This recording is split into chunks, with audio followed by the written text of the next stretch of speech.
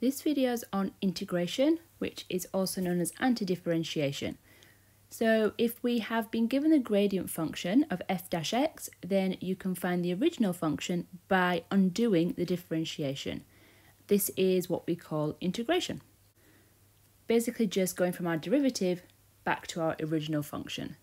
So this is our notation, the big long kind of S thing, that is the integration symbol. When we have the dx, or it'll be d, a letter at the end. That tells us what variable we are integrating. Now this is the actual integration part here. I'll just underline it in pink. That's our formula for the integration, which is 1 over n plus 1 multiplied by x to the power of n plus 1. Then we have to add c, which is an unknown constant. Now the reason we have to add the c is if you think about when we do the derivative of a function and we have just a constant on its own, say 4 at the end, when we do the derivative of that, that just disappears. So when we're doing the integration, we don't actually know if there was a constant there or not. So we do the plus c to represent there could be a constant there that we may not know about at this stage. Let's do some examples for some practice. Example 1, if f dash x equals 2x, find f of x. So we know our gradient is 2x and we want to find out what the original function is.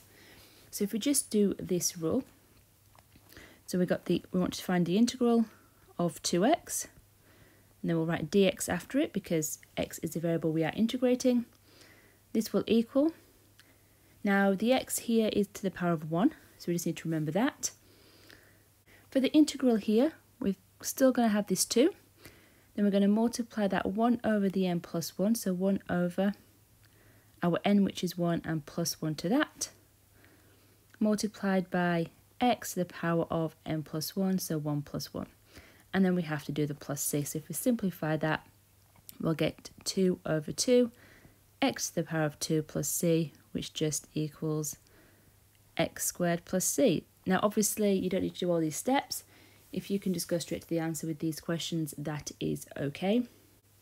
Example 2, if our derivative, or if dy dx equals x to the power of negative 4, find an expression for y. So once again, here we're going to have the, we want the integral of x to the power of negative 4, and then we write dx, and that is going to equal, so going, there's no number in the front, so we don't need to multiply our fraction by anything, it will just be 1 over n plus 1, negative 4 plus 1, multiplied by x to the power of negative 4 plus 1, and then our plus c. Simplify that, 1 over negative 4 plus 1 will give us negative a third, and then x to the power of negative 3, and then plus c. This formula as well is in your formula booklet, so you do have it there to help you in your exams. Next example, just we're just doing a few in different forms so you can see how you may get it in an exam. Example 3, f dash x equals 4x cubed plus 10x to the power of 4 plus 3. Find f of x. Very similar to the other two, we've just got three terms, and when you do that, like we do with the derivative, we just do each one separately. So we're wanting to find the integral of 4x cubed plus 10x to the power of 4 plus 3. Once again, a dx because our variable is x. And we just do each bit separately.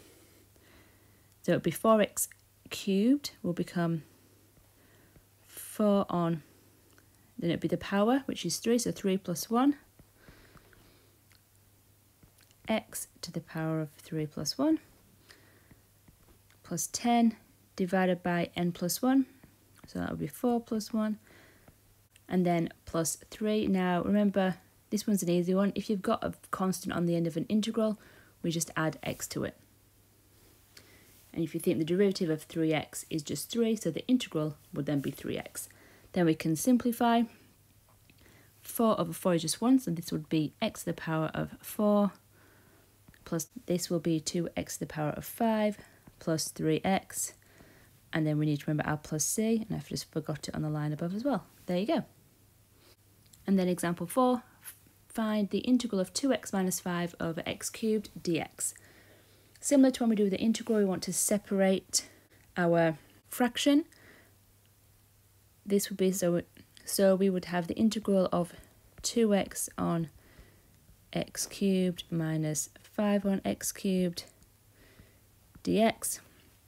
And we can simplify this, which would be the integral of 2 on x squared minus 5 on x cubed dx. And then we obviously we don't want fractions. And we'll get the integral of 2x to the power of negative 2 minus 5x to the power of negative 3. And then we can do our integral, which would be 2 over the n plus 1, negative 2 plus 1, and then x to the power negative 2 plus 1, minus 5 over negative 3 plus 1, x to the power of negative 3 plus 1, plus c, and then simplify. 2 over negative 2 plus 1 would just be negative 2, x to the power of negative 2 plus 1, which is just negative 1, minus 5 over negative 3 plus 1 will actually give us a positive because we've got two negatives and we'll end up with 5 over 2 and then x to the power of negative 2 plus c. And then from there, if you want with this one, you could write it with positive powers, but there is no need. And last example, what we sometimes will need to do is we will be given enough information so we can actually find what the c value is.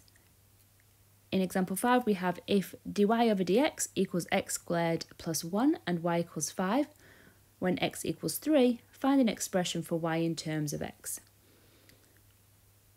We're wanting, so this means we are wanting to find an equation y. We have been given the derivative and then we've been given uh, x and y value on our original graph. So first step is to do what we have just been doing, which is to find our original function. We'll have the integral of x squared plus 1 dx I want to do this bit first, so this will equal 1 on the power plus 1, which will be 1 on 3, x to the power of 3, plus 1x, or just x, plus c. Now we've been told when y equals 5, x equals 3. So this equation would be also the y equals 1 third x cubed plus x plus c, and then we can sub these values in. 5 equals a third multiplied by 3 cubed plus 3 plus c and then just rearrange and solve this.